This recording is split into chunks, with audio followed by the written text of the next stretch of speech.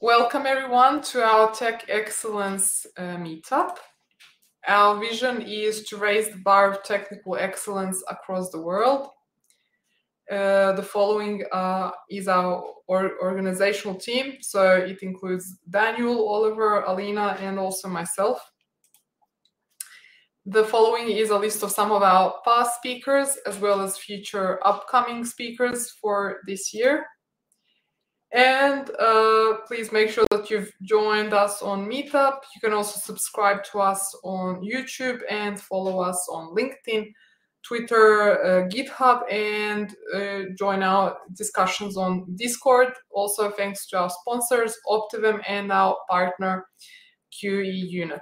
So, uh, for today, I am really excited that we are being joined by Paul Hammond, who is director at Pact Software. And his presentation today is component driven development with React uh, and DOM testing.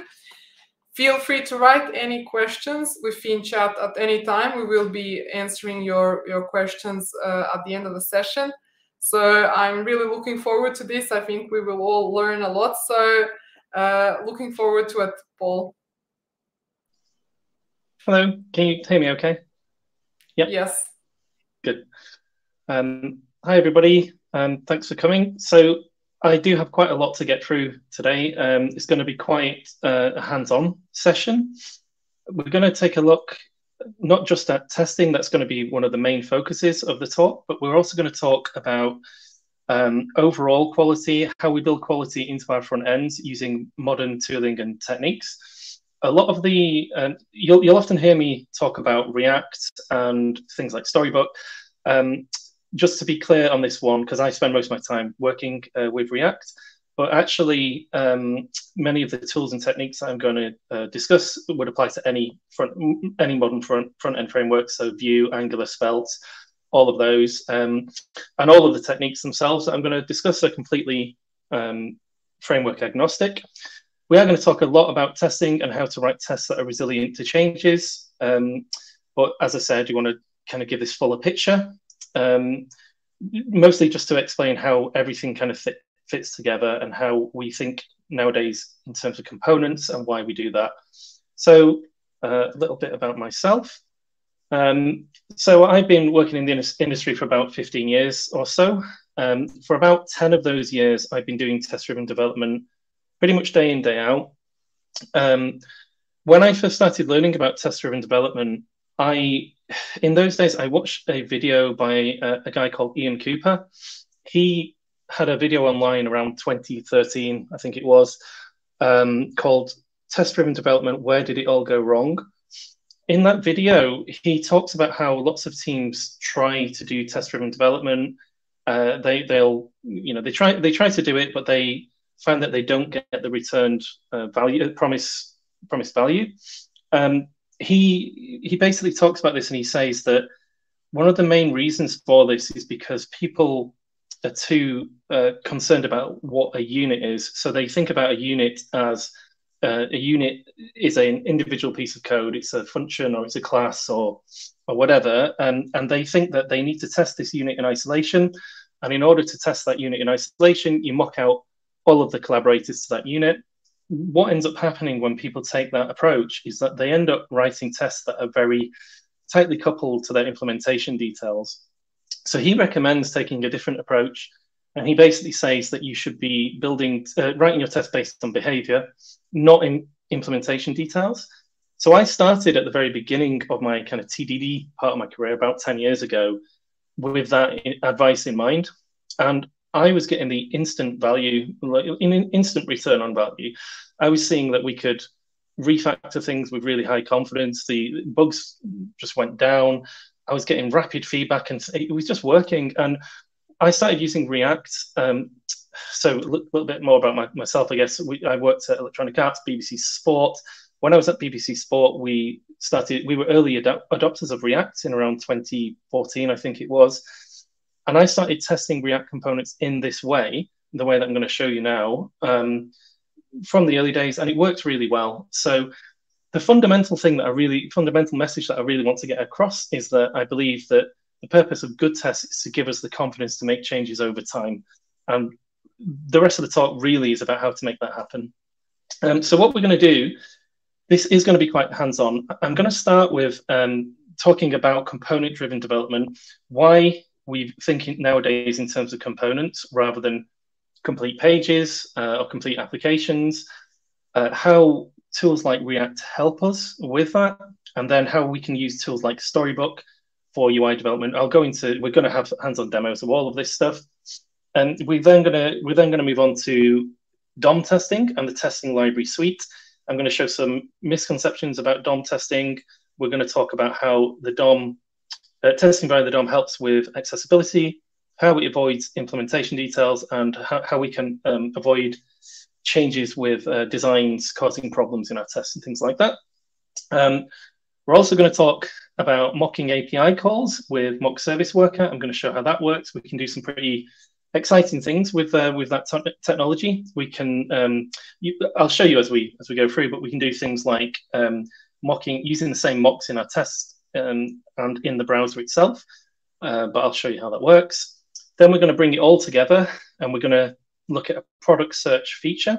Uh, again, it's going to be hands-on. I'll show you the code and um, how it all works, and we're going to talk about how we test that. And we're also going to do two refactorings in this uh, talk. I'm going to dem demonstrate two refactorings and show how the test can help us. So we're going to refactor a relatively simple component at first, but then we're going to refactor a much more complicated one. I'm going to show how our tests uh, help us to do that uh, towards the end. And then hopefully there'll be time at the end um, to talk a little bit about a backend pattern that I think works really well um, that helps us to um, simplify things on the front end. Uh, we'll go through that. So I'll go through the slides relatively quickly because I, I, do want to get to the, the good bit really. But um, yeah, the, again, the key point is we want to see how we make uh, changes over time, uh, how tests help us make changes over time, and we are going to kind of go through the full flow. So I know I've probably already said this about three times already, but um, this is the real key take home point for me that good tests should give us the confidence to make changes over time. It, it's it's hard to stress this enough. If you're if you have worked in an environment where tests actually do work this way and do give you the promised value, then it's a really liberating thing because not only do you find out very quickly when you broke something, but your confidence is always very high. So I've written here that if our tests are passing, we should feel confident enough to go straight to production this is something that I really believe, and I've done this at scale before. We did this at the BBC for a while when we are building the new football scores and things like that. And I've seen this working in practice, uh, and I know it can work. So yeah, I'm not gonna. This is a little bit wordy, so I'm not. I'm gonna skip through this a little bit, but um, I just want to explain why we're not starting straight with um, tests right at the very beginning, because I do want to talk a little bit first about how how the process works, how we, um, in, in a modern kind of environment, how we design components, how we build them, and how we document them, um, and how we can build these in isolation. There's kind of two forms of testing here. So we're going to be talking about how to test individual React components, but also how to test when you pull into an application because it's slightly different, and I'll, I'll talk about that. So a little bit about component-driven development. Um, so modern front ends are built with components and not pages. Um, we often use UI libraries like React to do that. I'll uh, talk about, uh, I'll give some examples shortly. This screenshot here is from a um, an application called Storybook, which uh, this is the GitHub version of Storybook. And what this is showing us is their, their library. I think it's called Primer. If you Google GitHub Primer Storybook, you can see this, and it will take you to a page where you can interactively play with all these components. It will document them all. Um, and it's really, you know, using these techniques, we can share these components across an entire estate. Of course, if you're going to do that, when I say across an entire, estate, what I mean is that um, it can be across multiple applications if you want, if, if that's if that's what you want. Um, so component driven development helps us to build reusable components that reduce duplication. It's going to help us with consistency so that um, designers and developers can collaborate more easily. You can build these components in isolation and, and share them. Helps us with accessibility. We're going to talk about accessibility next, and I'm going to start um, a demo with accessibility in a moment. Um, we can rapidly prototype things. You build up a collection of components which you can compose together in, um, in, in an easy kind of way. Um, and yeah, we can integrate with tools like Storybook, where we can visualize and interact with them. So we're nearly at the uh, demo stage here, but I just want to, I'm not going to read this slide word for word, but when it comes to building front end, we have different concerns to what we might have on the back end. There are a few fundamental things that are just completely unique to the front end. So two of the main ones are there's the visual look and feel. Obviously, we have to care about how things actually look and what the user experience is, is like for, for users, but also um, accessibility. And um, depending on, most people think about screen readers, that's the obvious choice when you're talking about accessibility, but there's loads of different types of assistive technologies that can help people with all kinds of different problems. Um, yeah, so thinking in terms of uh, components and component libraries, if we if we build our components in an accessible way, then we get that kind of benefit and we get that reuse. You know, exp exponentially grows across our estate. So I'm going to start with a demo on a modal component, um, and we're going to talk initially about accessibility when it comes to a modal. So um, I just want to show here. So I've got a little um, application that I, I, built here so I can just kind of quickly show different demos. So I'm going to click on this um, modal link. And what I have here, so I'm just going to go to, oh, sorry, keep this in the same tab. What's going on there? I'll go here. Okay, so um, I'm not going to read this entire page, but I'm, I just want to open this just to show you that. So this is a W3C uh, web accessibility guide. On this page, we we we have instructions that to help us to make modals and and it will tell us what kind of kinds of things we need to do to make sure that our modal is accessible now you can see here there's quite a lot going on maybe more if you don't spend much time in the front end space it might be surprising how much work actually goes into these things if i click on patterns here you can actually see that there's a lot of uh, different advice for different patterns so I just want to focus on one thing here, which is this one. I'll zoom in a little bit, um, but I'm just going to read this one requirement here. So this says, like non-modal dialogues, modal dialogues contain their tab sequence. That is, tab and shift tab do not move focus outside the dialogue. However, unlike most non-modal dialogues, modal dialogues do not provide means for moving keyboard focus outside the dialogue window without closing the dialogue. So what does that actually mean? So I've got two examples of a modal on this page. One of them is an inaccessible version and the other is an accessible version. So this is the inaccessible version. So I click on this and I get this kind of pop-up, uh, this kind of modal. Watch what happens here. So if you see, if you see my focus, if you can see around this cross now, I'm that's my focus. When I hit tab, I'm going to tab into the input field and then I'm going to tab you know, onto a button. If I hit tab again, notice how I end up completely outside and if there were other elements on this page, like input fields or whatever, I would be on those elements now.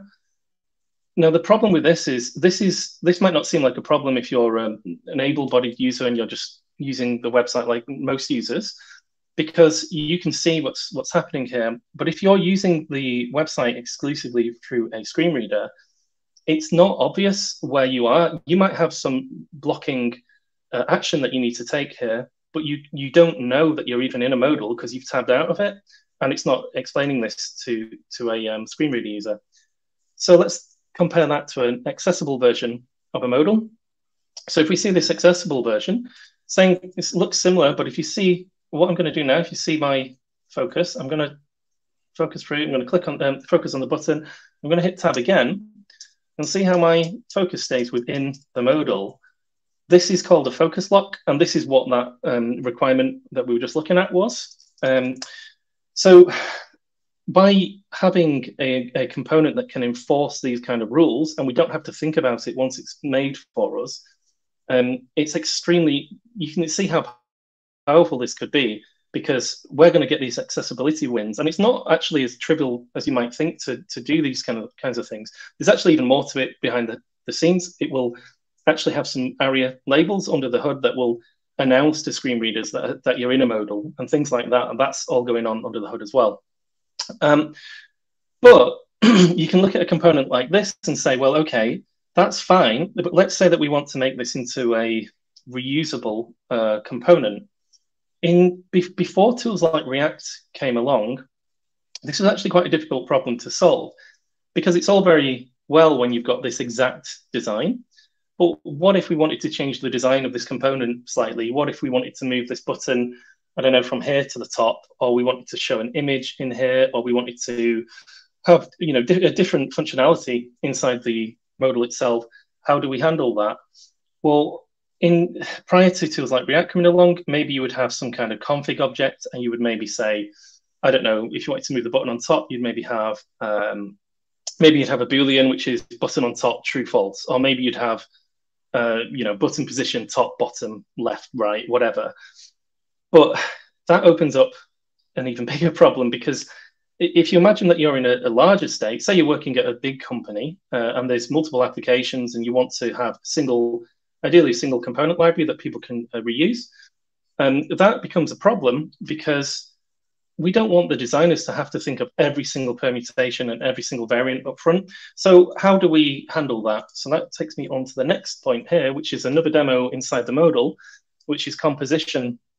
Um, so I want to talk about how tools like React help us to build complex UIs out of smaller building blocks. So let's go back to our modal example, and I'm going to stick this on that side. Hopefully you can all see. And I'm going to stick this here, and what I'm going to do is should be able to open up the code. So I've got an accessible modal example. So the code on the left-hand side is the actual um, implementation for this modal.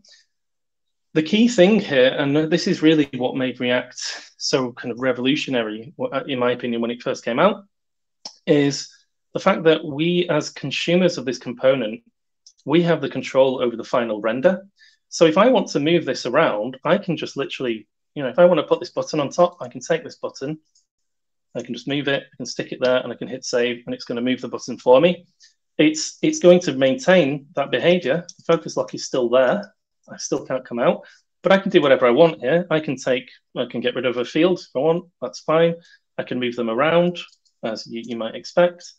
Uh, and what's also kind of interesting here, a little subtle thing, and we'll see this in a moment.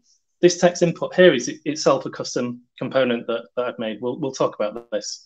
But the, the real power here is that we have control over the final render as a consumer, and we can compose together components. We can compose these smaller components to build these um, larger, more complex user interfaces.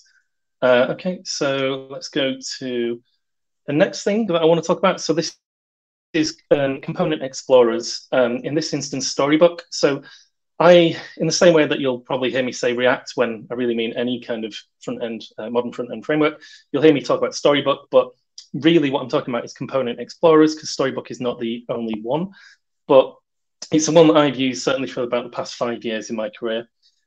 Um, so yeah, modern UIs contain countless different state permutations, different browsers need to um, use them. Uh, we have uh, loads of different states for different components a component explorer helps us to, to isolate the UI concerns from the business logic and the application context. What we can do is we can build uh, and document uh, these components in isolation. So I'm going to show you, I've got actually, oh, oh, and sorry, another key point here. Storybook itself is a hosted, well, sorry, it's a static application that you can host. Um, in many places that I've worked, what will happen is when you merge to mainline, if you do trunk-based development, which is what I usually advocate. Uh, if you merge to mainline, um, it's going to kick off a build and it will create a storybook that the whole, ideally, maybe the whole organization shares. Um, if you are working in a PR flow, you can even have um, like an ephemeral version of, of Storybook built just for your PR, which you could then share as developers. You could share that with designers and stakeholders and ask them for early feedback. Um, so I'm going to show Storybook now. So let's just go back here. Uh, I'm going to close everything else. Just one second. Okay, so storybook. So I, what I've done here is I've basically built, because um, I really wanted to demonstrate this. So what I've actually done is I've built a uh, example shared library. I should I should mention that the um, the link for this we can we can maybe share the link in the chat at some point. But um, I have put this uh, repository online so you can view the code in your own time, and I've documented stuff so you can poke away at it in your own time. Um, but essentially, what I'm trying to do here is to simulate having a, um, a shared library that we would document in something like in a tool like Storybook. So I just want to show you some stuff here. So um, when I say that it's interactive, like these are true interactive components, I can go in here and I I can change things. So I can just say, you know, hello world, and change that in real time. You can have, you know, you might have components that have awkward states to reach in an app, so loading states, that kind of thing. You could show them in any state you want. So here, for example, I've got an input uh, component, and here I'm showing input with an error displayed. And again, you can you can just change this in real time. So you know, please type your name. Uh, I can go in here and I can change my. Uh, I can give it an error state, so um, error whatever, um, and it will render that for you. Um, Oh, the other thing to mention here, um, let, in fact, let me go to the next slide, but I'll just show you, I'll show you, um, I'll come back to this. So yeah, this is a, this is the, a flow that works really well for me personally, um, because Storybook itself is, it's also an, it, it, works in real time. So if you change something, you'll see the update instantly um, on the page. So the way that I tend to build things is I work with usually if I'm building a brand new component, what I will do is I'll build the HTML and CSS first. That's amazing, thank you. Go away. Uh, I'll build the um, the HTML and CSS uh, in isolation first, um, and then what's nice about that is that I can potentially share that. That's a shareable state at that point in time. So I could share that with a, a designer or whatever, and, and just have them look at the um, the design and say that they're happy with it then what I start doing is I build the behavior after that point, and that's when I start test driving. So that's when I use tools like Jest and React testing library um, to start adding behavior to the design.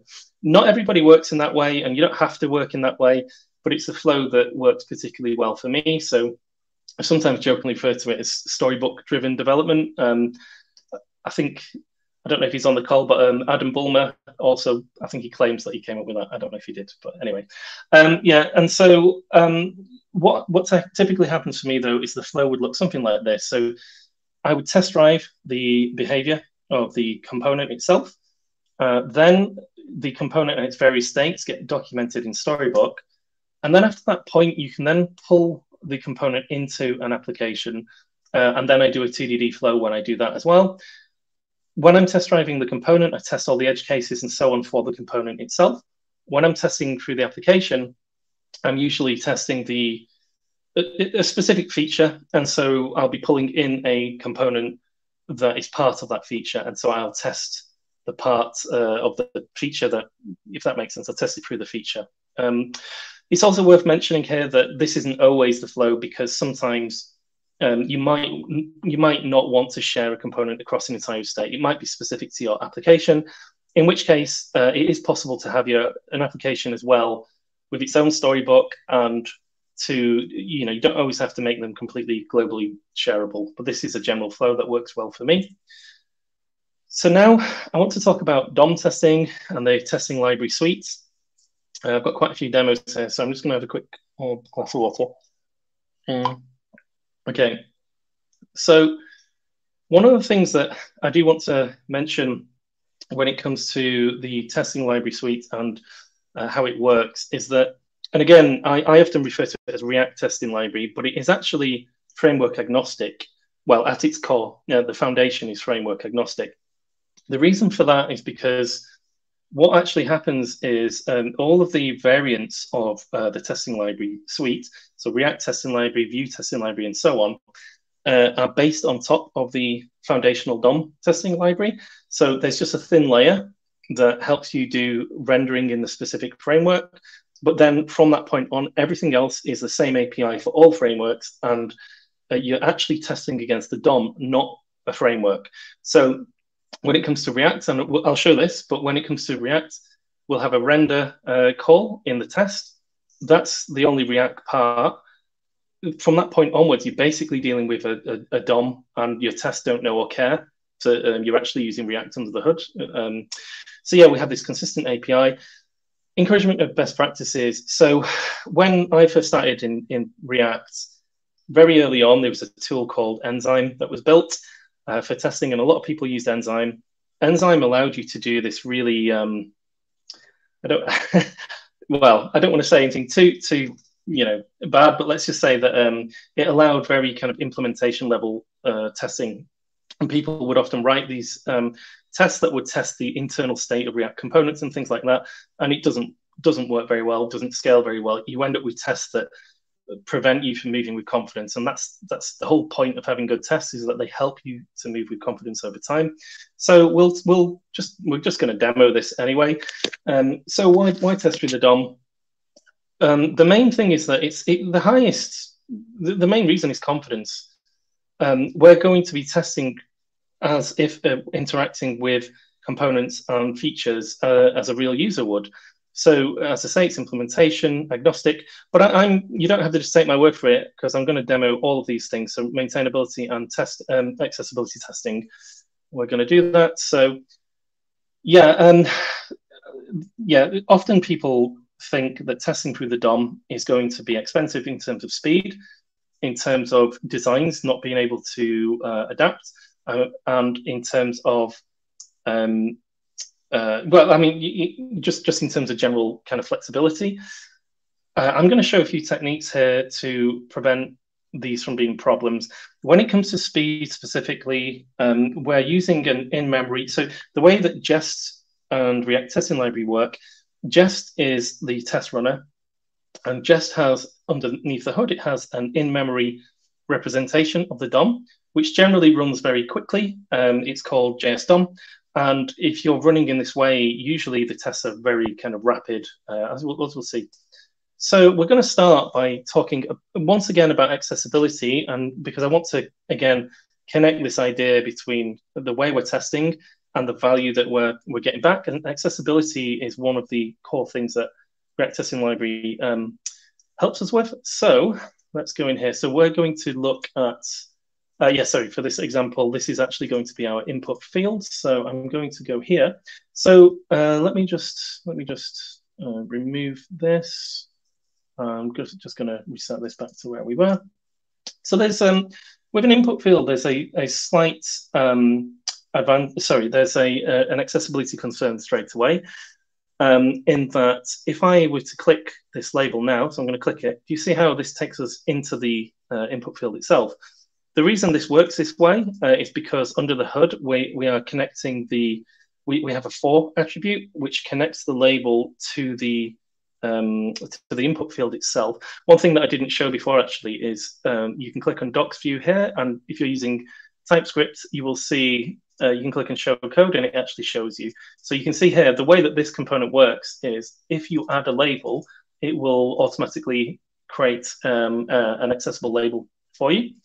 So um, let's have a quick look at how the tests work for uh, for the input field. So I need to be here. And so before I even start, what I've got here is I'm running these. This, this here is my test runner, uh, which is uh, Jest. And what I'm going to do, I'm in this interactive watch mode. So if I go into, let's have a look in my input field for a moment. If I change anything in here at all, just going to add some text or whatever you'll see that it runs the tests um, and they should run pretty quickly, as you can see. What I'm going to do now is I'm going to just focus specifically on the input test. So I'm in this interactive runner, press a button, and I can just literally filter in. So I can say input, and that's going to run just the input tests. So if I go to my input test, let's have a look. Um, so the way, I'm just going to close the test runner down for a moment. I will zoom in. Obviously, I'm a little bit restricted in terms of space here. So as I'm showing the test, I'll have to zoom out a bit more. But um, it's going to show here. So I've got, um, what am I actually doing here? So I, I pull in the input component directly. I'm using testing library and it's the React variant. So that gives me a React compliant, if you like, uh, render uh, function uh, which I can then use. And Screen is, is the API that allows us to um, run queries against the DOM. Um, so what I'm doing here is if you see, rather than pulling the component by inspecting through an ID or a class, as, as people historically would, um, I'm using this library, uh, React Testing Library, and it comes with a, a suite of uh, accessible selectors. What this is actually doing is it's going to return the input field itself. So it's going to return to me literally this input field. but it does it through the association with the label text, and it will only do it if the label text is correctly associated, um, if that makes sense. So I can I can show that, and just just to show, look, so we pass in the expected label here, and then we we use that same label to to pull out the um to, to get the input field. So what I'm just going to do, sorry, just before I show you this, sorry, one thing that I should have shown you before I even do this, I'm just going to go screen.debug just to show you what I mean when I say virtual DOM you see here, do you see how we get the actual HTML? Um, here, so we actually have access and we are rendering the component, but at this point, it's not React. At this point, it's it's a DOM. I mean, it technically gets managed by React, but as we're, we're interacting with the DOM, and as far as the tests are concerned, it doesn't matter that React is used. It's, it's kind of agnostic. Um, so what I'm going to do now is I'm going to deliberately go under the hood, and I'm going to break the code. So how I'm going to do this? I'm just going to, so you can see here what I do is I generate an ID, I put the, this ID on this for attribute for this label, and then I associate it with the ID of the input field. If I break this connection, uh, just like this, hit save, and you'll see test fail. But why does it fail? It says, and I'll just read this out because again, I, I do have only limited screen real estate, but um, uh, found a label with text of name. However, no form control was found associated to that label. Make sure you're using the for attribute uh, correctly. And you'll see here, look, if I go in here now and I click on this label, I'm clicking it now, and there's no longer an, an association. So this is actually broken.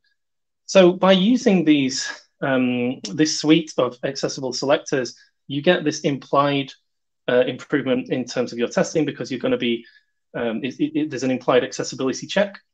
Um, so that's that's the first demo there. So I'm just going to, if you just give me one moment, I'm just going to revert what I've just done.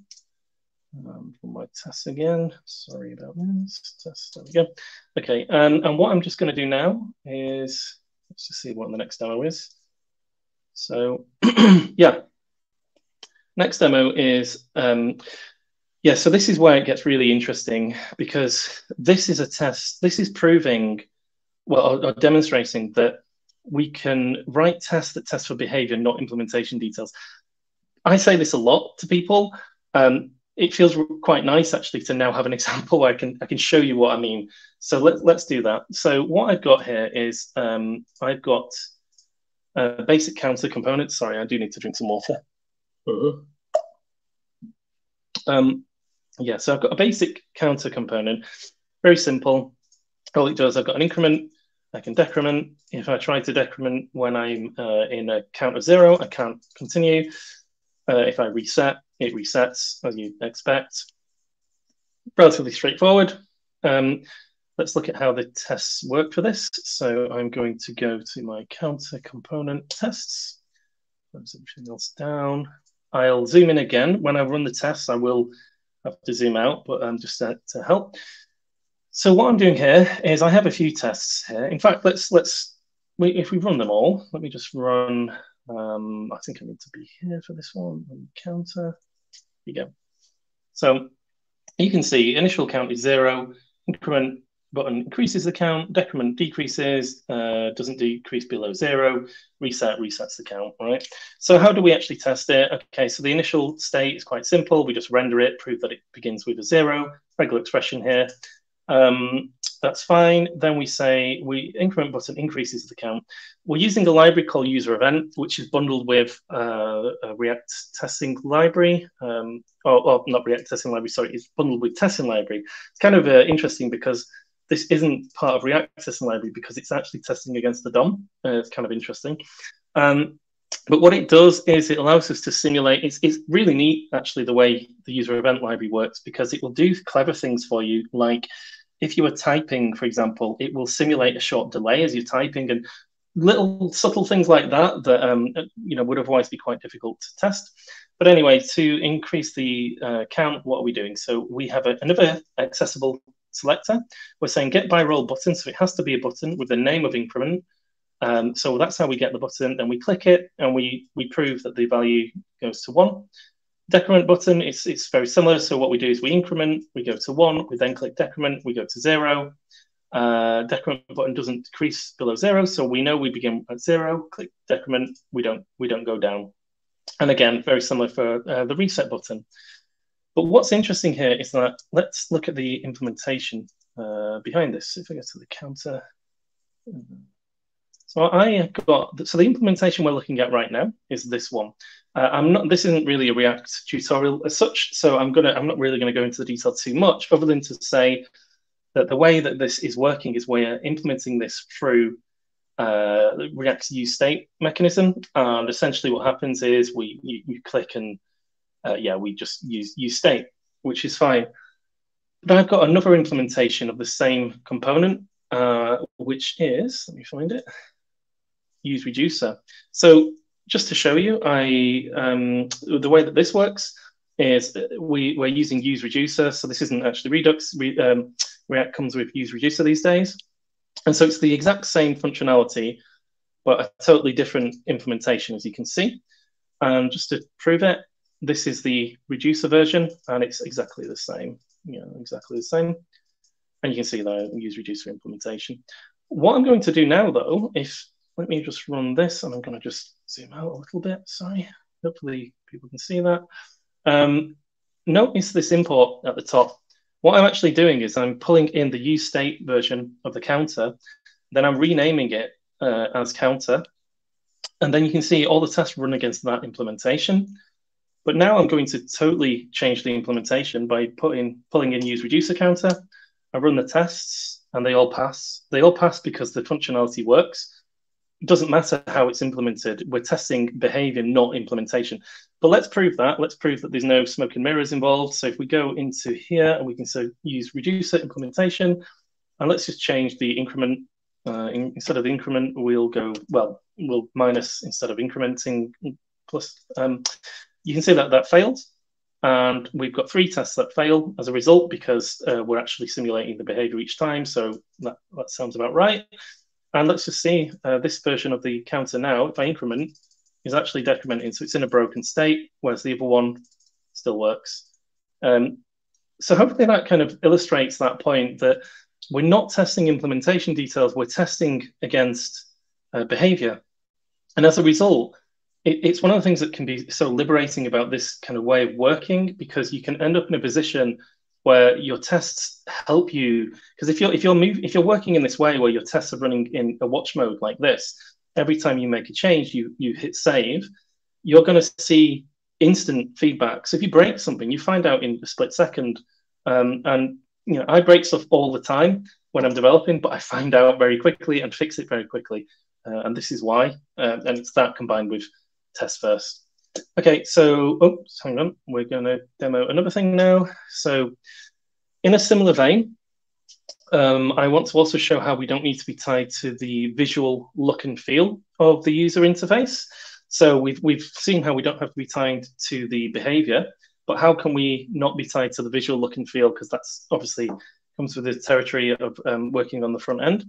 So in order to do that, I just need to do the same thing. I'm just going to reset everything. Just give me one second. There we go. I'm going to run my tests again. Um, and now we've got another example, which is this form. Uh, so some basic functionality in this form, nothing special. I'll show you how it works. It's I'm kind of cheating a little bit, but it's just to uh, show. So if I type in my name and an email address and a password, doesn't matter what the password is, and I hit enter, uh, form submitted. So that just simulates, I wanted to have some behavior in there just to illustrate the point here. So simulates that the um, form submission was successful. What I'm going to do now is a similar thing, but I'll just type in a name, email address, oops, email address, and then I'm not going to type in a password. Just going to click submit and then we get password is required. So under the hood, let's just see how that works. So we've got form example. And yeah, like I say, I, am kind of cheating here just to illustrate the point. So when, when it's submitted, if there's a password, we say it's true. If only all code was as easy to write as this. Um, yeah, and then otherwise we uh, set an error. Um, so that's all well and good. And then I can run the tests again for this. So I'm just going to run form my test will run. Yep, um, and so we just see that, yeah, we can submit the form, we can display a password error. That's fine. Um, so what I'm going to do now, and again, I am I am quite restricted for space here, so apologies for that, but hopefully this will at least illustrate the point. What I'm going to do is I'm going to split this top and down just to show you what I mean here. So you can see the design of this thing. So here are my tests. Here's my implementation. What I'm going to do now is I'm just going to start moving things around. I'm going to change the, the look uh, and you should see that the test will continue to pass so long as the behavior works. So I'm going to take the button and I'm just going to move the button to the top, hit save, button moves to the top, test still pass, it will still work. It's still going to be working. Uh, I can reorder things. Um, so I can take this and put this down here, whatever. Test still pass again because the behavior is still working. I can change the CSS if I want. So I'll go in here and class name. Uh, I can say background color red. Mm, let's say 500. Is that right? Yeah. Hit save. There you go. Changes the background color. Change the look and feel, but the behavior still works, so the test still passed. But if I go in and I break the actual behavior of this thing, so let's go in and I'll just break that, hit save, and you can see my test fails. And why does it fail? It fails because, I'll just zoom in a minute. Uh, I mean, well, it's, it's the can display password required error, and you follow that through and figure out what's going on.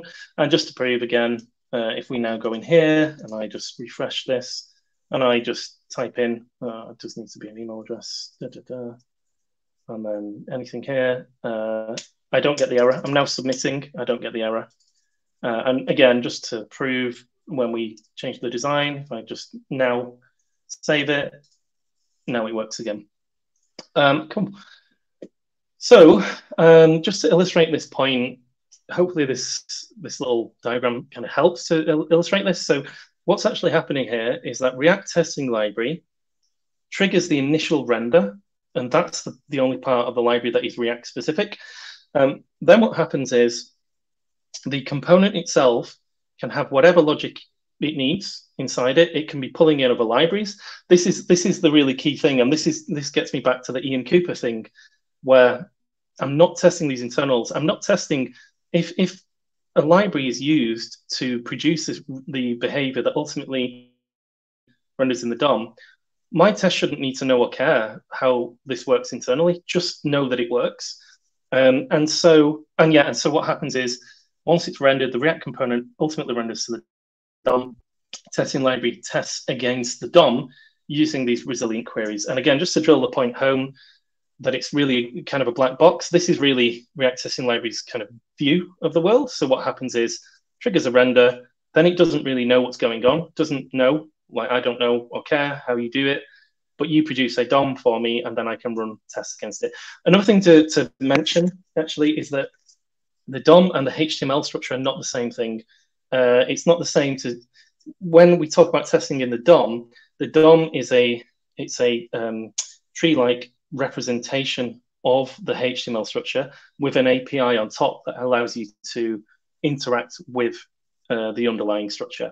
And the selectors that we're using from React Testing Library give us uh, a neat way of writing tests that uh, are not tied to the visual look and feel and are not tied to um, basically flexible and hopefully accessible um, if you use the correct ones. So uh, that's yeah, and it's key to make, helping us write tests over time that you know that can make changes. So okay, now we're going to talk about uh, mock service worker. Um, and so, what is mock service worker? I, I, appreciate, by the way, that I'm going through so many things here. Um, I am going to share the um, code at the exa- uh, at the end. There's a repository, everything in it, and I'm more than happy um, if people have access to that. Um, I, I, can't see the chat right now, so uh, I don't know if the link's been shared or not. But when it when it's shared, if you're able to star it and just um, ask me any questions, go in the issues tab or whatever, and ask me questions on there, and I'll I'll answer them. It's fine. But you can see all the code under there. So I appreciate I'm going through a lot, but I hope that it's valuable just to give you this kind of insight. Um, okay, so why are we talking about mock service worker? So the, the thing with this is in you you know in most environments you're going to be doing things like making API calls. So how do we mock API calls out and stick to this philosophy where we're saying that we don't want to test internals too much? So what mock service worker does, it's a um, it's a library um, which is very neat. It's very clever uh, how it works. And so what happens is um, we can use, we can essentially use the same mechanism to mock requests in the browser as we would on the server. And the, the, the mocks happen at the network. We can, if we want to, you don't have to do it this way, but if you want to, you can use the same mocks for testing stuff in the browser, even building stuff before APIs are ready. If you want to, you can do that. And um, I'll show you an example of this. Um, yep, so I've got an example of that right here. So what I'm going to do now, I'm going to open up my network tab and I'll zoom in a little bit. Hopefully you can see this, uh, clear this out. So what's going to happen when I click this button? And I'll show you the code for this in a second, but what's going to happen when I click this button is that I'm going to make a API call to actually to an API that doesn't even exist, but I've set up mock service worker in such a way that it will just return data and it's going to stick the data on the screen. I've also simulated a delay just so you can see a loading state, uh, and I'll show you how that works. So I'm going to click that, see a little loading state, and then it dumps this data out. So what's going on here? If I click here, see how this is telling me that there was a request. Let me just take a look. Uh, oh, you know what? I need to zoom out a little bit. Uh, there we go. So here you can see an actual request went out to slash mock service worker demo, and we got a response here with this data in it. And I'll talk you through this in a second and show you um, how this works.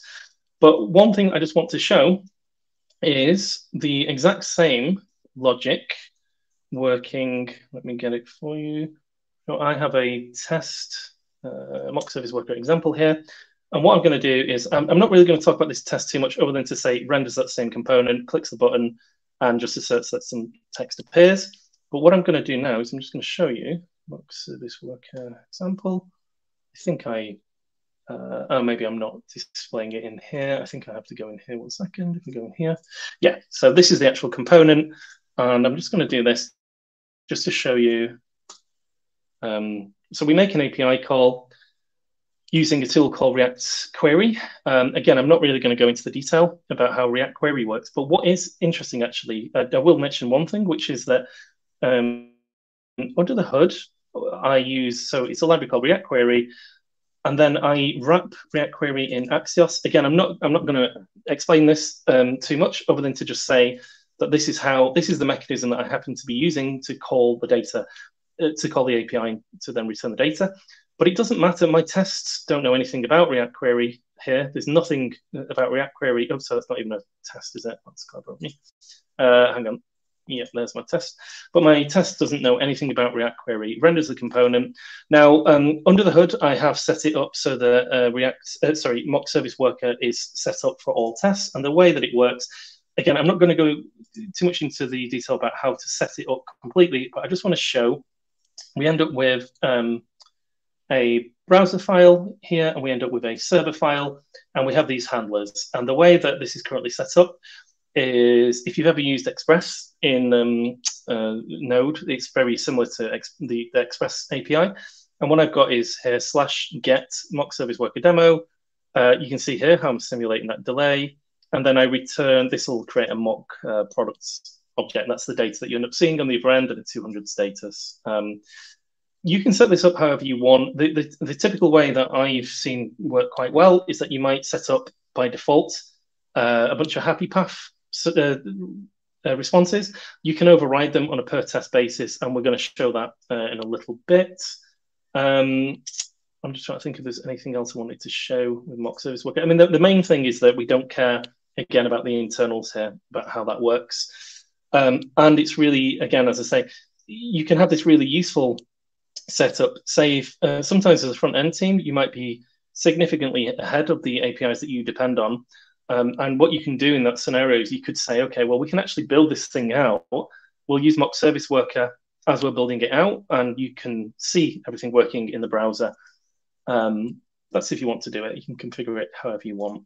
Okay, so that's that. And where are we now? So bringing it all together. So the product search feature. So what is this? Um, so the product search feature um, is going to involve making a real API call. Um, I say real API call, similar to what we've just seen. I've not actually got an API returning data, but the components will be doing that.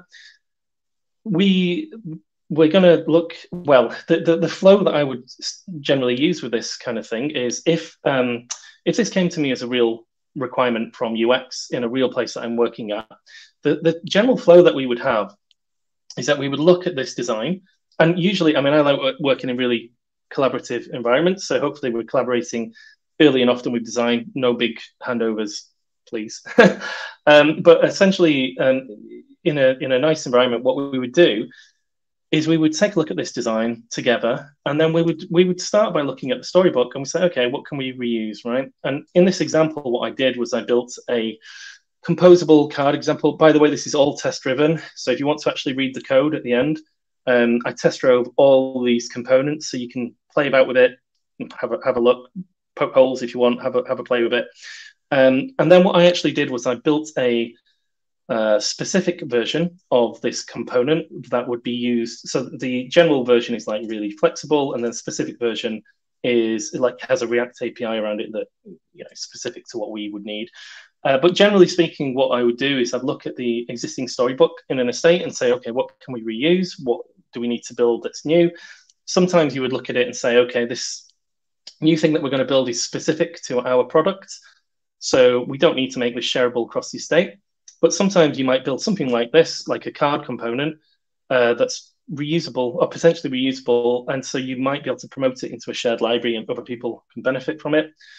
We need a slightly different setup for our tests um, when we're testing in the uh, at the application level as opposed to the uh, component level. I'll talk you through that in a moment. Um, yeah, and we're gonna we're gonna do uh, well. I'm gonna simulate a refactoring, and I'm hoping. I think I've just about got enough time to. I'm going to do a little TDD demonstration because for someone who's so obsessed with TDD, it feels really weird that I've not actually shown any TDD yet. But um, I'm hopefully I'm showing you the techniques that um, can make TDD work for you.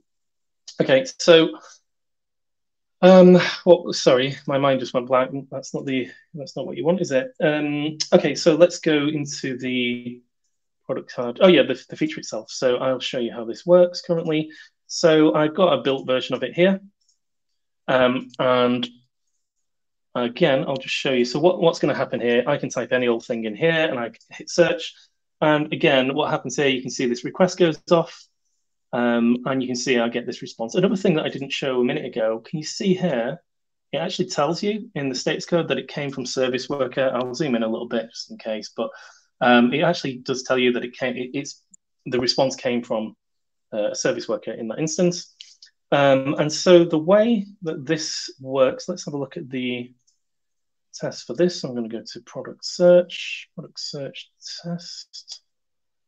So you can probably see from the folder structure, I've got two implementations, but we'll go through this. So what I'm doing right now is I'm looking at the React query uh, implementation of this. Now, React Query is a library that I'm a big fan of it. It's it's a really nice library if you're doing um, if you're doing kind of RESTful stuff in React. Not going to go into the detail, but if you haven't used it before, I'd highly recommend googling it and having a read around. It's really uh, nice. Um, but what I'm going to do, so so my, my test for this, uh, what do we do? So we begin with if products are returned, they should they should be displayed as a list of product cards. Now I didn't technically need to do this because I'm already I've already set up the um, uh, mocks in such a way that um, I would be returning data anyway. But just wanted to show how we can actually override on a per test basis whatever we want to return from an endpoint. So what I've done here is I've basically said, um, uh, yeah, when the uh, when you make any requirement, uh, sorry, any requirement, when you make any request to slash product search um, we're going to return this data. Now, I've actually done something here. This is suggested in the um, in the mock service worker docs. Um, what, what I'm doing here is I'm kind of implicitly proving that the search term comes through correctly as well. Don't really have enough time to, because I've only got a few minutes, so I don't really have enough time to massively go into that. But again, if you're curious, I can explain it on GitHub or reach out to me on LinkedIn or whatever. Um, so we return the data, and what do we do here? So we render the product search component. We again, we're using our um, accessible selectors. We're pulling out the search input, we pull out the search button, and then what we do is we simulate, we, we prove that, um, so what, what, am I doing here? Yeah, yeah, we prove that the, yes, so we prove that um, the loading state doesn't occur.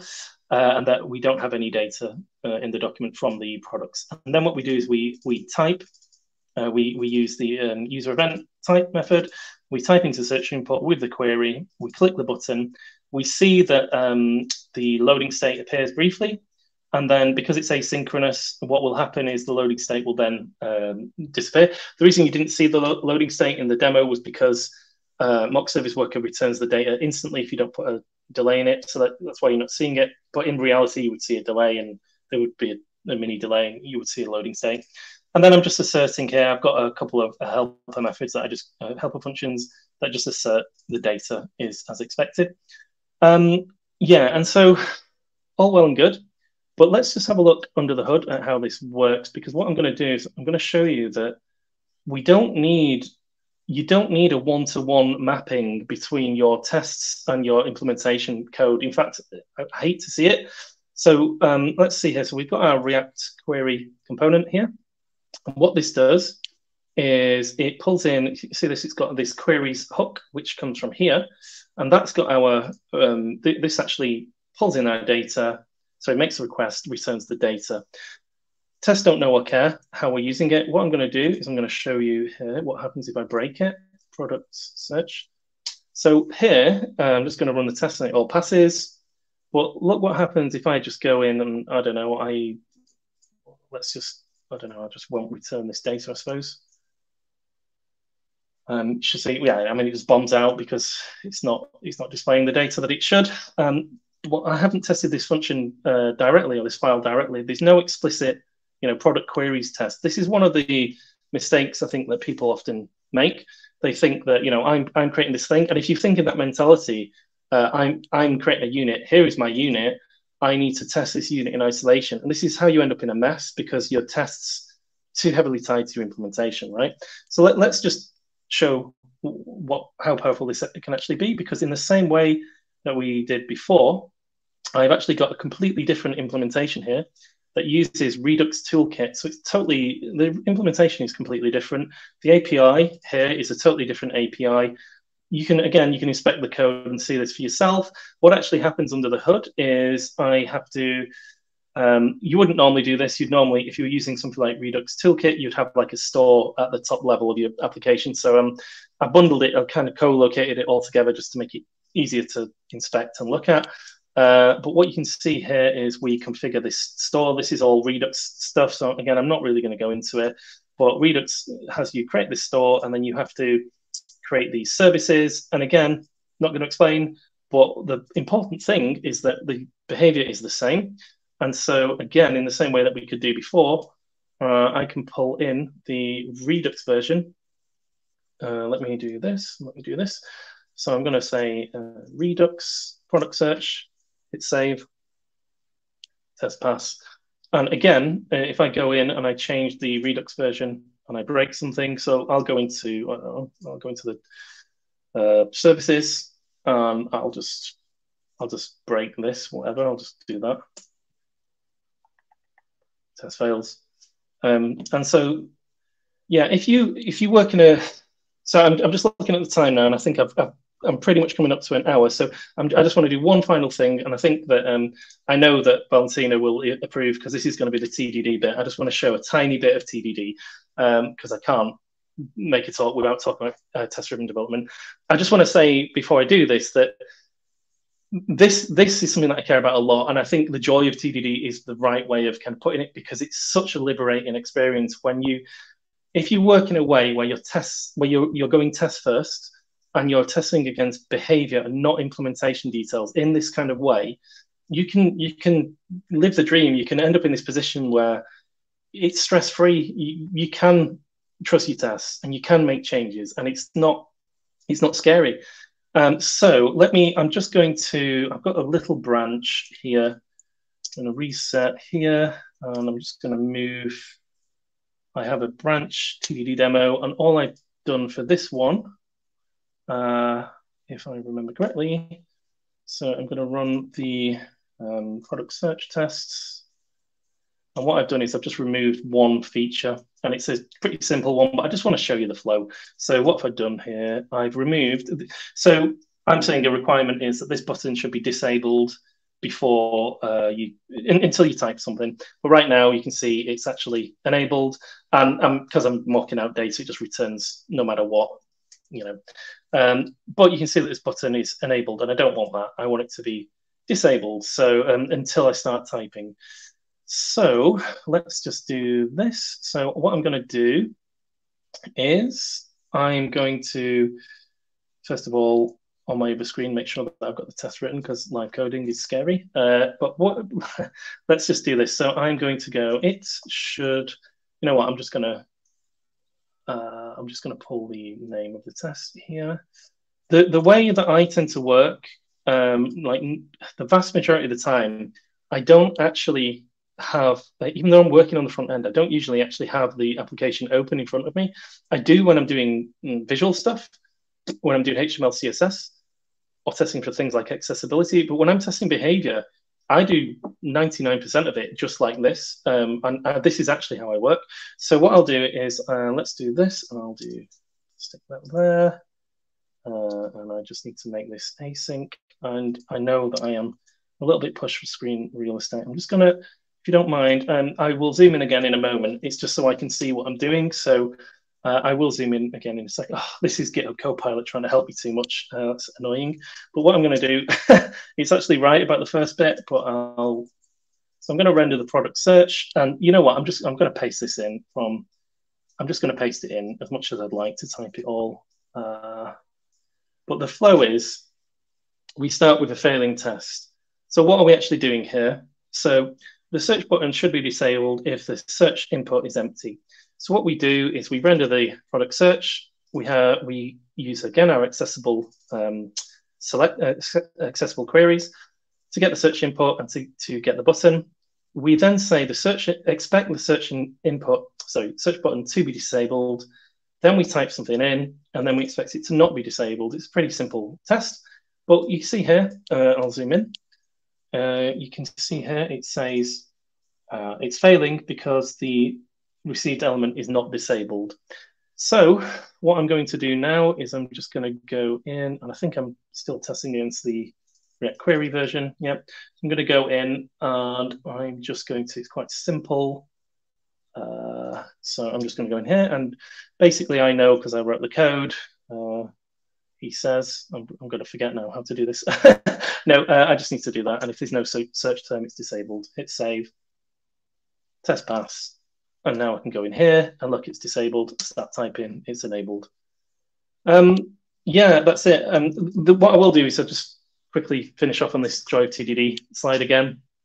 Um, it really is like I, I haven't worked late for 10 years and uh, because I don't need to, and you shouldn't need to. If you if you write in a test first style and you test against behaviors, the trigger for writing new implementation code is a failing test. So you get this confidence that you're um, you're building up like a known good thing at each state, and you have this really fast feedback loop. So as soon as you break something, you break it, and in seconds you get this feedback, and you see it happen.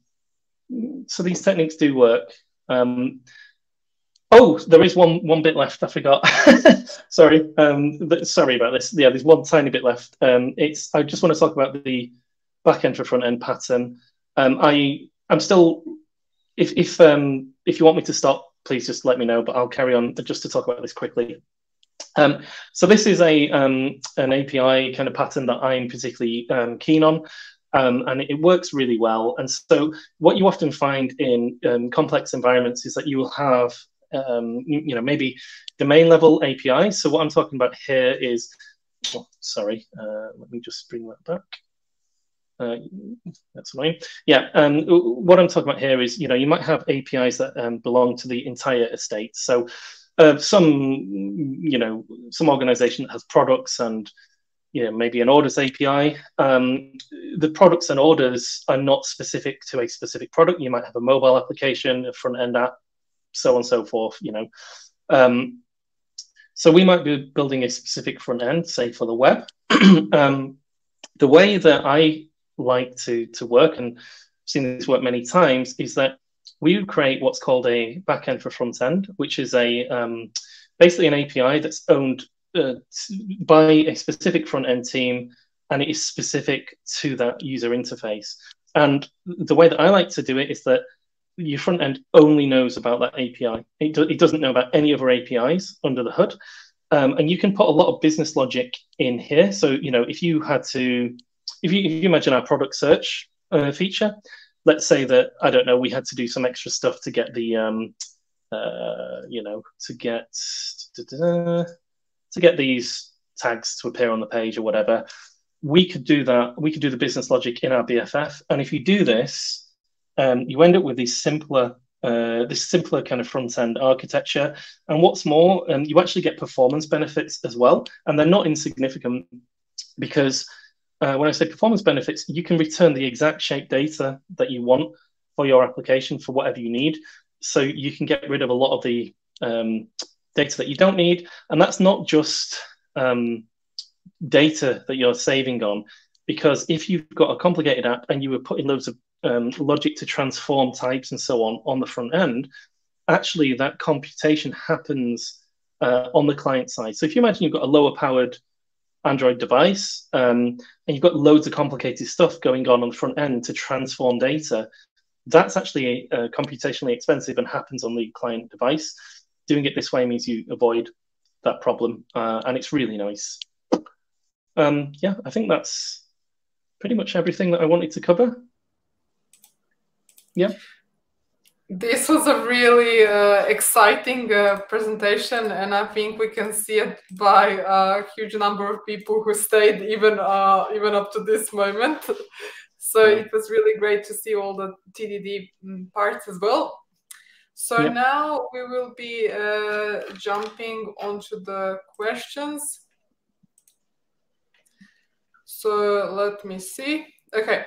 How do you feel about the feedback that the testing libraries provide while doing TDD, like, for example, testing library?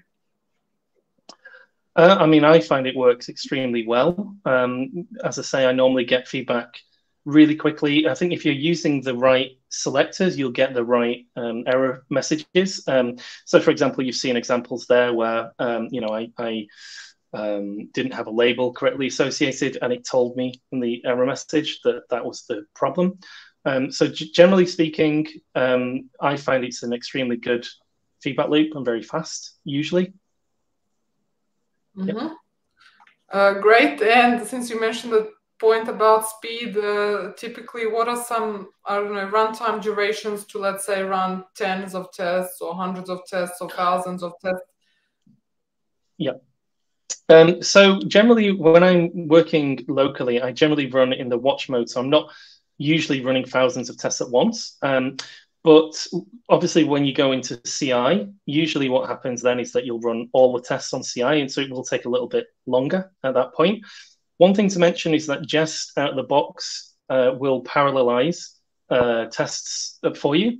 Um, but what it does is it, it runs the way that um, the parallelism runs uh, well, works in Jest is that it does it based on the files rather than the individual tests. So if you do have, say, one file with like loads of tests, then that's not going to benefit from those parallel runs.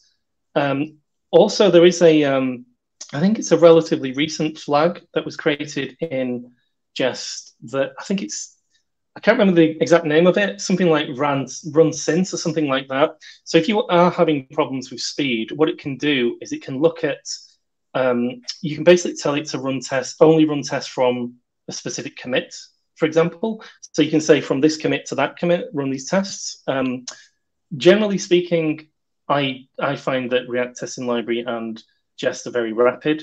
Um, you can sometimes get into problems where you've got loads going on, um, but usually, again, I, I would actually argue that this is one of the good things about taking a test-driven approach because what tends to happen is if you are going test-driven, and the, the test starts slowing down and annoying you, normally it's enough to annoy you that you you have to fix it. And so you have to it's like, well, why is it slow? And you fix it. Whereas if you're if you treat tests as an afterthought, that can build up more easily. And hopefully that helps. Yeah, makes sense. Okay, next question. Uh, should use get by role? I think maybe this was referring to, was it get by label or get, get by text? Not sure if anyone else remembers, but maybe some comments on that one. Yeah. thanks for spotting the deliberate error I put in there. I just wanted to make sure you're all paying attention. So no, but yeah, okay. I probably did make a mistake. That's fine. Yeah. This was good. Okay. Valentina, I think uh, there's an extended version of this question mm-hmm. in the chat. Should we always find by role to test accessibility? Um, so generally, it's the it is the kind of recommended way to do it. There may be some uh, exceptions to that, but generally speaking, so in the in the Jest sorry in the React testing library documentation, there is somewhere there's a page somewhere that basically tells you the recommended priority order of these queries.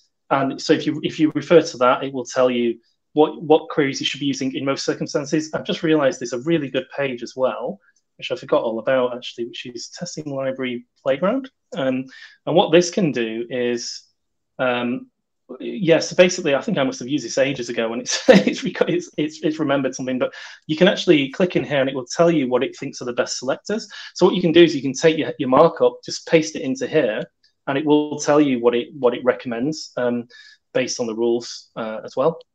Uh, so hopefully that helps. Mm -hmm. Great. Okay, next question uh, for get by text, there was an example with counter one. Uh, what mm-hmm. happens if it's a multilingual uh, application since here the word counter is coupled to the English language? How do we handle yep. any challenge when we couple the test to text visible on the screen as opposed to testing for the value one? Yep.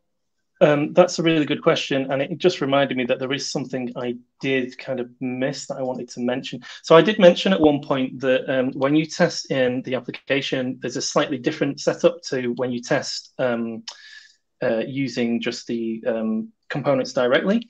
And what I mean by that, and again, I can document this in the uh, repository itself, but um, the way that um, we tend to, to work here is we create, and again, this is all documented in the um, React Testing Library docs. So if you go into the, uh, if you just read through the docs, they recommend doing things this way. And what actually happens is, um, can you see here, I'm creating, so I, I actually export a render method here. So what we actually do is we export the entirety of, of, React testing library, but with our custom render method. And what the custom render method will do is it will set up any providers that we need for the application itself. So if you if you just look at how I test the product search, um, can you see how there's a subtle difference here? I'm not actually importing directly from React testing library. I'm um, importing through these test utils. So to answer the question, uh, how would you deal with multilingual apps, which is a really good question, um, what I would typically expect is that you would have some kind of um, provider in, um, at this kind of level that would handle that transformation for you. And you would maybe set up your tests in such a way that you, you, what I would probably do is have some specific tests that test the, the, um, the language support works as expected. And then I would probably have, you know, from that point on, you know, choose whatever language you want as the default, um, you know, and, and from that point on, you could continue to test in the same way. Does that make sense? Okay, so just to maybe summarize, the answer to the question is the answer. You would, for example, um, explicitly have a provider for the language, and then in the test you would set to use the English provider, and that's how you would be able to then explicitly write counter one because you're setting to telling the test, please use the English one, basically. Yeah. Yeah, or you might have some, I don't know, maybe depending on how you're doing it, you might have some JSON file that sets up all the language values, and then you would just pull in maybe the same value in, in the test itself. So rather than actually say counter one, you'd pull in, you know, the JSON value for whatever button it is and the, the name of that thing, if that makes sense. Oh, okay, I understand that then it would not be the hard-coded English value, but rather referencing maybe JSON by key or something like that. Okay, great. Yes. Yeah, yeah. Okay, uh, so we do have the link here. I'm just clicking it uh, on GitHub, and we will have it in the description as well, so that anyone can have a look at this and start, and maybe feel free to add any further comments to Paul there or any, I'm sure, ideas or change requests. Uh, let's see, next question. Uh, can someone paste the takeaway line? He mentioned testing allows components to be easily changeable now. Someone from us wrote Paul mentioned that good tests should give us the confidence to make changes over time. If your tests are passing, we should feel confident enough to go straight to production. So feel free to, I don't know, comment anything there regarding the key takeaway about testing. Yeah. No, I mean that's that's pretty much it. I would agree with that. Right. I mean, obviously I do. yeah. Great. Okay. Did I get it right that the mock service uh, worker library is not just uh, for mocking API for test purposes, but rather for any scenario where you need to mock API that's not yet available for maybe another team has not yet developed an API. Yeah, that's that's exactly it. You can it's it's very flexible. Um, you can use it however you want. Um, but yeah, essentially that's that's it. If you want to do that, if you're in that situation where maybe as a front end team an API that we depend on isn't yet ready, then we can absolutely do that. Even if you're using a, a, BFF, you know, so you have control over your own API, it may still be useful. Um, or you can just return mock data from your BFF, but it gives you this really, it, it, it's very powerful in what it can allow you to do. Um, in the team that I'm currently working on, um, we have, I mean, to be honest, we use a slightly different setup because we return mocks from our BFF in that instance because we're able to, but we actually set up a, um, a kind of developer tool that allows us to set up any uh, res- any response from any API call, and it, it, means that we can demo to stakeholders uh, different journeys um, because the application we're working on now is quite complicated in terms of the user journeys. Um, depending on different states and substates, we we present a different journey to the user, but we can actually have this little tool that appears in the browser on um, non-production environments and people can just say, okay, well, I'm going to go on this page and return this data. Um, and that way, stakeholders can actually experience those journeys. Okay, that has interesting usages. It's like the next step after Figma, perhaps, and then they can give uh, feedback earlier rather than having to wait for the full REST API. Yep. And hey, here we have, uh, yes, certainly use it to mock contracts for an API that doesn't exist, freeing you up from waiting for the API ready. So I think that's something that you clarified before, and it means we're not blocked by the backend yep. team. Struggle to wait for the loading state when using MSW. Yep. So um, there's a little trick to that actually. Um, so it is a bit of a pain. Um, but what you can do. So uh, am I still? I'm not showing my screen now, but um, yeah, there's a delay. Oh, thank you. um, so where was the mock that I set up? So if I go to mocks, no, so it's in handlers, isn't it?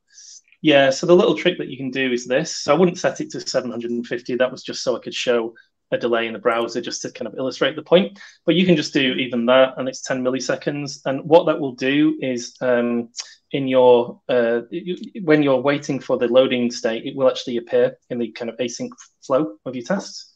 Um, it's a little bit bit of a pain, but that's because they recently updated the user event library, so every action is asynchronous. But yeah, try that; it, it does work. Yeah. Okay, great to see this. There's a solution.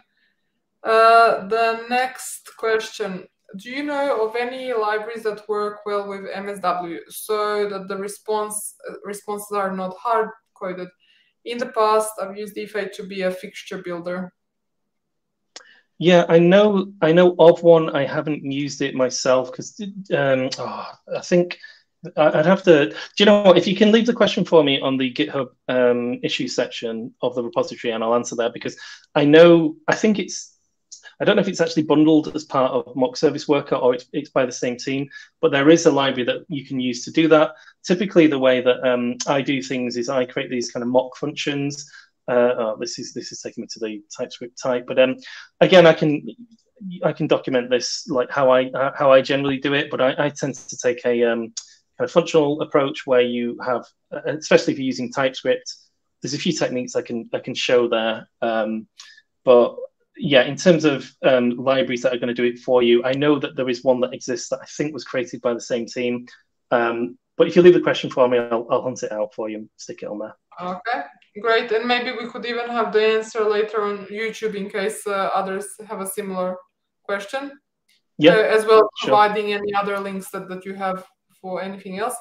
Okay, yeah. Uh, going on to the next question. How do you make the counter accessible? To go as far as using a live region? Uh, yeah, so this is a good question, and yeah, um, probably yes. I mean, I, to, for full disclosure, like I think that obviously accessibility is extremely important, but I don't consider myself a complete expert when it comes to it. And so typically, what I do, but again, this is all more all the more argument for working in this kind of way, where you're building components first. Because if I'm building that component, one of the first things I do is I start reading exactly how do we make uh, a counter accessible. I would expect that probably maybe you do need to use a live region, but I would read up on it. The, the W3C has really good resources on all of this stuff. And so typically what I do is when I'm building a new component, one of the first things I will look at is I'll go away and I'll read up like how do I make this thing as accessible as possible. So I, I can't give the best answer to that other than to say if you work in this way, you legitimately got the time to go out and figure that out. Mm-hmm, great. Yep.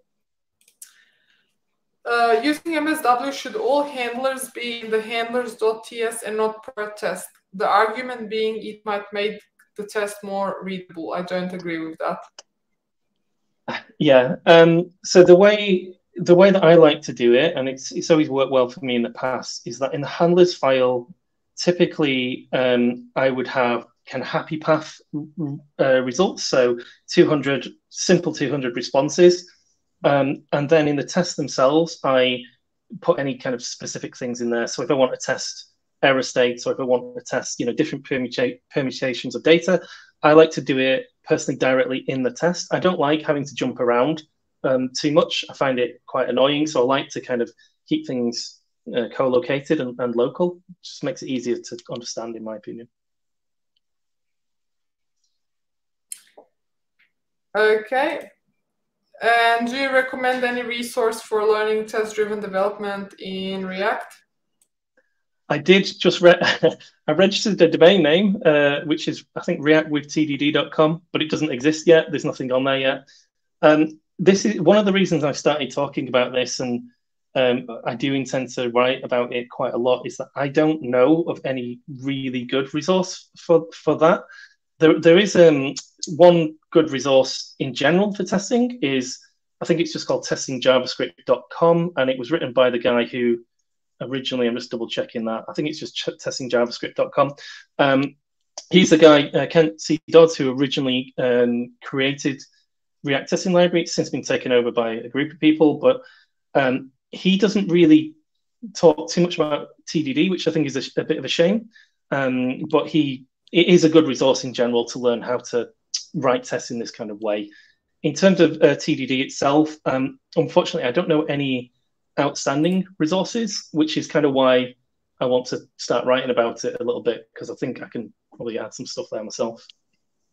Yeah, definitely. Okay, so these were great uh, questions up to now. If anyone else has anything, feel free to add, but maybe uh, ask additional questions. So maybe I don't know, Daniel or and Alina. So, so I asked you that already once. Um, what do you think about using IDs? I mean, IDs are probably more stable than um, than, for example, a label which can change. So if you would start, if you yeah, would start with so, the ID and yeah, you know. Generally speaking, I mean, again, it, it's if you read the React testing library uh, advice on selectors, they generally say to try to avoid um, using IDs. What you can do, they, they have um, an escape hatch, and it, they do refer to it as an escape hatch. So rather than using an ID, you can use a, what they call a data test ID. So it's a data attribute. Um, let me find this for you, give you an example. But if you see data test ID, testing library, um, you probably find, yeah, so you got this by test ID here.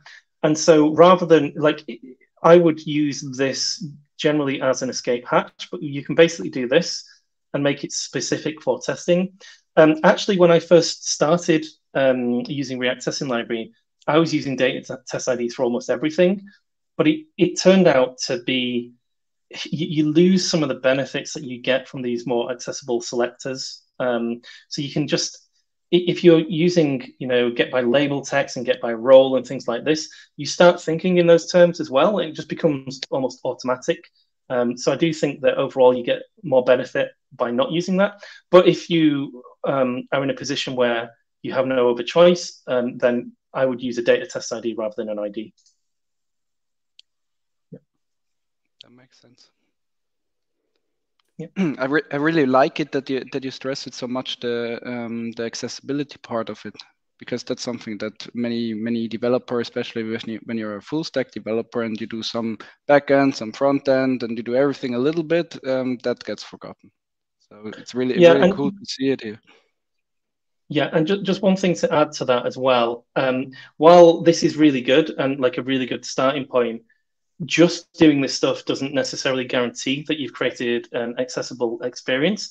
It's actually quite hard to get it right. It's actually a complicated thing. And as I said before, I don't see myself as a complete expert in that. I do think it's very important. And I, I like working with people who consider accessibility first. And it's a it's it's a first class citizen. Um, as somebody who is an able-bodied person who doesn't use uh, assistive technology, I can make mistakes, but I have the best you know, intentions, and I'm always going to try and improve that um, as as I can. You know, but yeah, it's it's a really good starting point to start by using these selectors. And I think I mean accessibility is really important. It's like about 30 40 percent of the of the people um, of the population have some form of accessibility issues so it's very very important that we actually focus on that and usually it's just yeah. forgotten so yeah yeah, yeah definitely um, another thing another thing was um, about cypress i mean cypress can also intercept um, calls especially when you have yep. component tests. Would you yep. recommend that also, or have you experienced um, that? Yeah, I mean, I, I don't have a, a problem with with doing that. And um, the one, I guess, the one advantage that you get by using this technique uh, is that it helps actually during development as well. As in, like, you can, it's not just while you're running the test, you can actually see the experience and you can share that potentially with stakeholders and show them. Um, but yeah, using a mocking mechanism in Cypress is is fine. Um, the way that we've done it in the application that I'm working on at the moment is, despite me talking about the, the way that you can do this in Mock Service Worker, we are using Mock Service Worker in the BFF. Sorry, in not the BFF. Sorry, in the um, tests. But what we actually do is we have a mocking mechanism set up. We, we created our own little middleware, so you can um, send a header to our BFF and it will return um, a mock for you. One of the reasons that I like doing that is because, like, I'm a really big believer in continuous delivery and uh, having walking skeletons and all of this kind of thing. And at the very beginning of a project, what we, because I was lucky enough to start this project right at the beginning, and what we did was we built a walking skeleton. So if people are not familiar with that, it's a CI CD pipeline that can release to production on day one before you actually start building anything else, runs all your tests and everything. And one of the arguments that we, well, we, we work very closely as a team, did a lot of mob programming, a lot of pair programming, big fan of all that kind of thing. Um, and what we discussed was that by doing that, it forced us to to basically get the full connection working, including integration tests on CI. And when we deploy, we need to have the uh, communication between the front end and the BFF working um, right from day one. And so that was that's why I, I quite like that approach. But to be honest, like all of these techniques are going to work. It's, it's a judgment call. Uh, just understand the value you're going to get um, mm-hmm. from either technique. Yeah. Great. Thanks. Yeah. Cool. So great. Uh, yeah, this was, I think, a good discussion, and we even went uh, onto CI/CD and stuff like that. So uh, Daniel and Alina, uh, any other uh, additional questions? I would have one question. Yeah, what is your experience? I mean, you know, uh, using TDD on the front end. I mean, is there any scenario where you would say, yeah, you can't use TDD because of some constraint, speed, or I don't know, or you can use TDD for most of the front end? So, what's your experience in this? I, I've never experienced a scenario where TDD do, doesn't work on the front end. What I would say is that there are some scenarios where uh, you get the limitation of, say, Jest and JS DOM, because it is an in-memory DOM, so it's not 100% perfect. It's very good um, for 95, 96% of everything you do. It's, it's spot on. But there are some scenarios. So a scenario might be something like scrolling behavior, for example. So mm-hmm. perhaps, I don't know, if you imagine an infinite scroll, so as you're scrolling down, it starts loading more data, and that kind of thing. Because of the fact that it's an in-memory DOM, it's, it it doesn't really work very well for those kinds of scenarios. So what I would typically do for um, any place where you do have those gaps, I would still test it, but the way that I would do it is I would push that up to um, Cypress level or um, something like Playwright. Playwright is a tool that I'm becoming more and more interested in. It's similar to Cypress, but it looks really exciting. Haven't played with it professionally yet, um, but that's what I would typically do in that scenario. But I would never leave a feature untested. It's just I can't even. It doesn't. It, it, the, the, the, the key thing for this for me is like that's why I get to go home on time every day. It's why I'm so confident. There are some things that some battles that are worth fighting. Some, you know, I'm not as strict on some things, but when it comes to testing, um, one of the things that I typically do is, I mean, obviously now I know about mutation testing and so on, but previously I didn't know about that. And I would do a kind of manual form of mutation testing. So if I'm doing a PR review, I would pull somebody's repository, uh, pull somebody's branch down, run the tests, deliberately fail something, and see the test. So often they would just continue to pass because people are cheating and not test driving. And I would annoy people quite a lot with that, but I would never give in to that because mm-hmm. I need to have confidence. Um, that's the way it works. Mm-hmm. Yeah. We even have a comment uh, from Matthew. Changing hearts and minds is probably the hardest thing about moving toward TDD in the US. Oh. Just change some of them. So this is really great to get to get this uh, feedback, and we do hope you know feel free to share this video with your uh, colleagues and stuff like that. I mean, this is a really, I guess, hands-on, practical video and uh, transformational too. So great to see this. And yeah. let's see, before we, Alina, uh, did you also have any question for Paul? Yeah, I think my question went into the same direction as Daniel's question, but maybe more, less less specific. Uh, maybe how, how, how difficult is it to convince a team using TDD in front end? I don't have much experience on this one. Yeah, I mean, so it, it's interesting for me because I am maybe I'm a little bit um, lucky in some ways because when I interview at places, I actually I tend to bring this stuff up at the interview level, and I do think that um, an interview is a two. It's very much a two way process, um, and I'm not I'm not just trying to get the job. I want to get the right role for, for myself. So it, it's fine for me if a team are not test driving um, when I join, but I'm gonna I'm gonna explain this stuff in an interview, and I'm gonna say this is like a really important thing. Here's why it matters, and I'm I'm happy to lead by example. Um, and you know what is really nice to me is that I tend to I, have made the mistake in the past of, of just talking endlessly about TDD, TDD, TDD, and you get to the point where people go cross-eyed and don't want to listen to you. And what what I've discovered, or what a technique that's worked really well for me, is to talk in terms of delivery instead and especially with product people because if i've got these tests that give me this, this high confidence then we can live this agile dream right? So like you want to experiment with a new feature i can build that feature and it's fine. Um, you change your mind about how something works it, it's fine i can change it because the cost of change is low. So if you if you can connect um, these techniques to delivery and, and it, there's no smoke and mirrors because it does work um, then uh, that tends to work really well in my experience. Yeah. Excellent argument. I like how you brought up the topic both about interviews and uh, leading by example. So this is really uh, great to hear all this.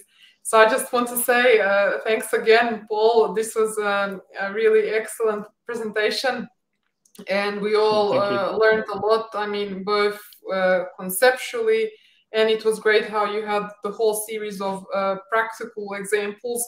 So I'm sure that this will be great uh, for uh, everyone to rewatch, maybe even multiple times, and try to apply in practice and share with uh, with your colleagues. And also, we will be adding uh, the links to the GitHub in the description of the video soon. And also, whoever has any additional questions, feel free to add it on uh, YouTube. So I just want to say um, thanks, thanks again, Paul. It was really great. No problem. Thank you for having me. It's really good. Great. Thank you. Yeah, and just to finish off, so uh, thanks everyone again for joining our meetup. Uh, you can join us on uh, register on Meetup, subscribe uh, here on YouTube, and follow us on LinkedIn, uh, Twitter, and GitHub. So that's all. Uh, thanks again, everyone, and have a good day. Thank you. Bye. Bye. Thank you.